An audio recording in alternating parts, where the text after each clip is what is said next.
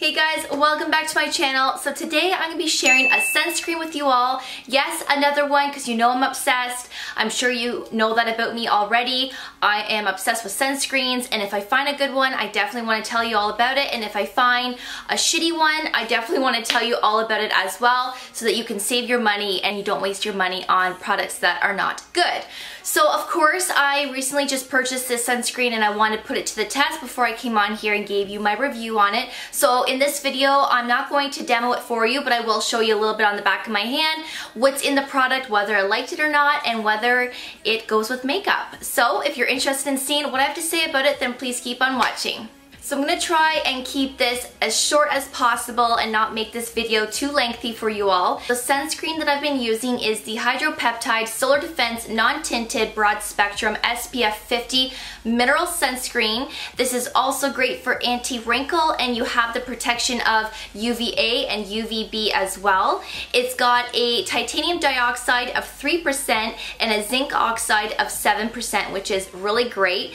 This sunscreen is also scent free, which I can really appreciate because as you know, there are so many gross sunscreens out there with gross smells. And if you're putting something onto your face all day long, like you don't want something to smell gross all day long. So this is scent free. You don't have to worry about any harsh smells. This is great. This is also a 1.7 fluid ounce product, which is 50 mils. And I have to be honest with you, this is a little bit of a pricier sunscreen. So this retails for about $48 American and about 61 or $62 Canadian. And normally I don't purchase really expensive sunscreens because there are a lot of other options out there that are cheaper that are just as good. But I needed to try this because there were so many great reviews on it and this has hyaluronic acid in it and as you know I love hyaluronic acid. I use a separate serum on my skin every single day and I love the hydration that hyaluronic gives and if you've watched my ordinary video on my serums I could bath in this stuff. I just absolutely love hyaluronic acid. So when I saw that this sunscreen had that, it just immediately intrigued me and I knew that I had to try it out. And I do want to keep something in mind as well. If you are spending money on products like retin-A or retinol, glycolic, salicylic, or lactic acids, products that are going to eliminate fine lines and wrinkles, past acne marks, and past sun damage, and you're investing in products like that to make your skin more youthful and bright looking, then you need to be investing in a really good sunscreen for your skin as well. Whether that's a drugstore product or a very high-end sunscreen product, it doesn't matter. You need to be investing in a sunscreen because what you're doing over here to eliminate all those things off your skin, without using a sunscreen, this is not gonna work for you. This isn't gonna do anything for your skin other than make your skin worse because your face is gonna be even more sensitive to the sun and all that damage is going to be put back onto your skin. Make sure that if you are investing in products like that, you should also be investing in a really good sunscreen as well to protect your skin so that your skin can improve and get better over time.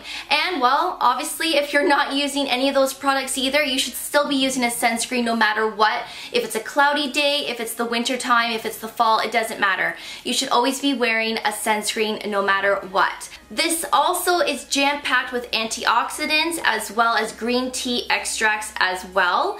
And it's also cruelty-free, vegan-free, and it's formulated without any soy, paraben, gluten, or sulfates.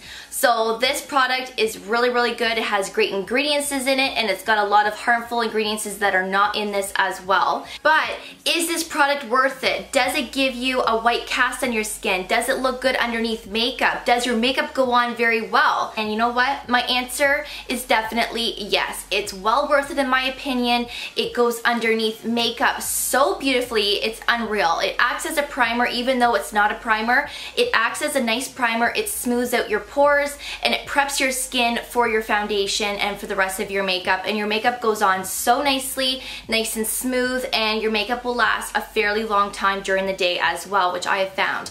And that is a big bonus in my books. You gotta have a sunscreen that's going to work really well with your makeup as well. That is so important, especially when you have to go to work, right? You need to have your makeup in place all day long, but you want the protection there as well with the SPF. So it definitely is amazing underneath makeup. Now I'm gonna show you what this looks like on the back of my hand in just a moment, but I do want to let you know that there is a really nice pump on the top here. And when you do one pump onto your hand, it does release a lot of product at first. So I would definitely start with one pump, put it all over your face, and if you need more, add more at that point, which is what I do. I start with one pump, and usually I will add more after just to saturate my face and make sure that I'm well protected. And then I will let it soak in for about 15 to 20 minutes, and then I'll go and put my makeup on after. So as you can see in this clip here, I did put one pump on the back of my hand, and of course this was way too much product for the back of my hand for this small space, but you're getting a good idea of the color, and of course it's really white in color, and as I'm rubbing it in, it's not really soaking in too well as there's just way too much product here. But it definitely is very moisturizing. It's not very sticky either. And then as you can see in this clip, once it was all massaged in and rubbed in, there was barely a white cast on the back of my hand. Now, mineral sunscreens, as you know, are very well known for giving you a white cast on your face and that's normal because mineral sunscreens sit on top of your skin which chemical sunscreens will absorb into your skin. So that's why you get the white cast on your face normally. Now this product surprisingly, and I'm going to be 100% honest with you, it does leave the most minimal, minimal white cast on your skin. Like you really can't even see it, but when you really look and focus on your skin, you might see a slight white cast and that is totally fine with me because once you go and put put your makeup on on top, that white cast goes away and you don't even notice anything. So I love that this doesn't give you that super white cast. And like I said, it doesn't feel sticky either. Of course, when you first put it on, it will feel a little bit tacky, but then once you leave it on your skin for 15 to 20 minutes before you go and apply your makeup, it's not very greasy at all. And honestly, my Drunk Elephant sunscreen, I own both the tinted as well as the regular formula, the white one, and those are more sticky and greasier than the hydropeptide sunscreen. This is honestly not as sticky, not as greasy, and I really love that. This is also a satin finish as well, so you're not too greasy and oily looking, but you're also not too matte looking either. And when you put your makeup on top of this sunscreen, it will give you a nice slight luminosity look to your skin as well, which I really love. But of course, if you don't like that, just powder on top and you'll be good to go. Now, Hydropeptide does have the exact same SPF as this in a tinted version. So now that I really love this and that I really enjoy this, I might invest in the tinted one just to have those days that I feel like wearing a tinted sunscreen. But if you do have a problem with mineral sunscreens with it giving you a white cast, you can mix it with a tinted sunscreen. Now, I've always recommended to use the same brand name to mix with your sunscreens because usually the ingredients are very, very similar and it's from the same brand and there really shouldn't be any problems. But you know what? I put this sunscreen to the test and I tried to mix it with my Australian Gold Mineral Lotion and this is the tinted SPF 50.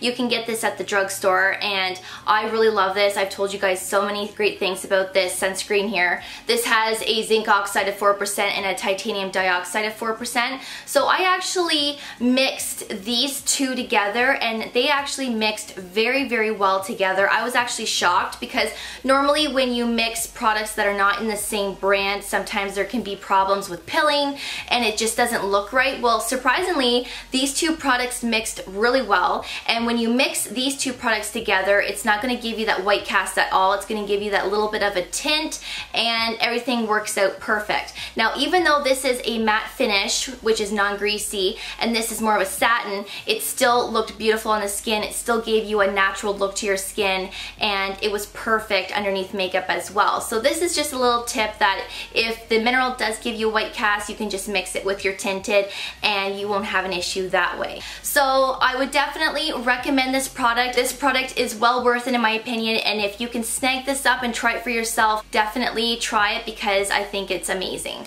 So I really hope that you enjoyed today's video and that you found it helpful. And of course, if you have any questions, just leave them below and I'll definitely get back with you as soon as I can. And of course, if you liked this video, please give it a thumbs up. And if you can also subscribe to my channel, that would be great as well. And don't forget to click that notification bell so that you never miss any of my future videos. So I'll definitely see you in my next video. Take care and we'll see you then. Bye guys.